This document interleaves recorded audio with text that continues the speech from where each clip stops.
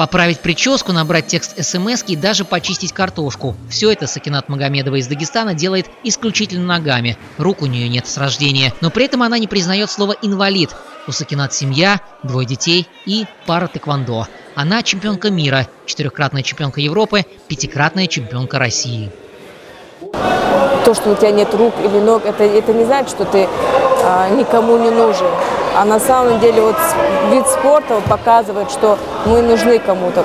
Поэтому надо вот стремиться и идти, и всех призываю, чтобы шли в спорт. Сакинат Магомедова – одна из участниц чемпионата России по пара-тэквондо, который впервые прошел в Ульяновске. Если сказать, что на Дадянге региональная школа тэквондо собрался весь цвет отечественного пара-тэквондо, значит не сказать ничего. Здесь в полном составе сборной России, победительница недавнего первенства Европы в командном зачете. Есть даже первый российский чемпион мира по пара-тэквондо – Артур Кан. В детстве он получил удар током и потерял левую руку, но удар судьбы Артур перенес стойко, не скис, не затерялся, не пал духом. Само желание заниматься единоборствами, оно порождено с детства во мне, в душе, внутри. И, естественно, это преодолело все само желание заниматься единоборством. Просто нашел тот вид, в котором я могу, лично я могу реализоваться. На чемпионате страны в Ульяновске Кан выступил в роли тренера. Его подопечные, как и все участники, оставляли все силы на Дадянге, выдавая неподдельные эмоции не только после побед, но и после поражений.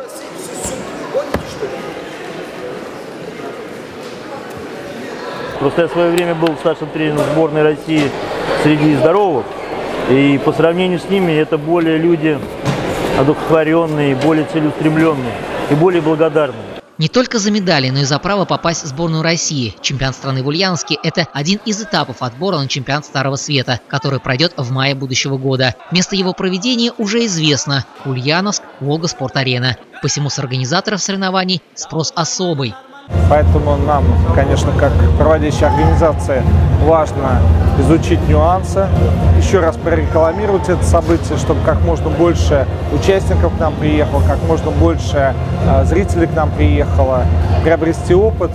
Чемпионат страны в Ульяновске назвал сильнейших не только в разделе кируги, это спарринги, но и в пхумсе, индивидуальной дисциплине, которая предусматривает безупречное выполнение элементов тэквондо. Серебряным призером в этом разделе стал Денис Аганян, единственный представитель ульяновской сборной.